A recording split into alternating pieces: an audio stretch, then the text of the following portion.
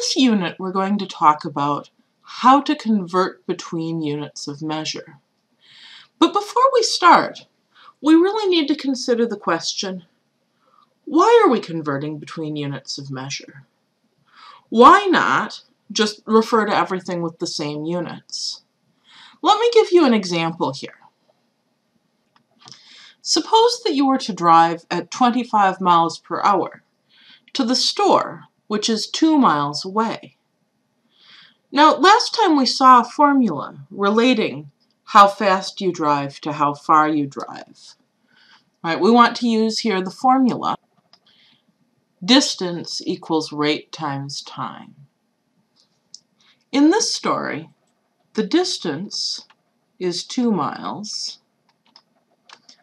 The rate, or speed, is 25 miles per hour. And we want to know how much time it takes. Plugging in what we know, we get the equation 2 equals 25 times t.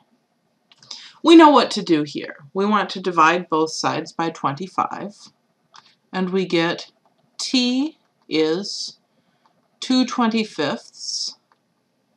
Thinking about the units, our distance was in miles, our speed was in miles per hour, our time must be in hours.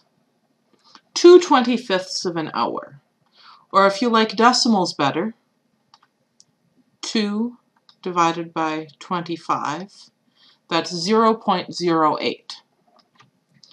And now you're sitting here asking yourself, wait a minute, how much time is 0.08 hours? What we really want to do is to convert hours to minutes.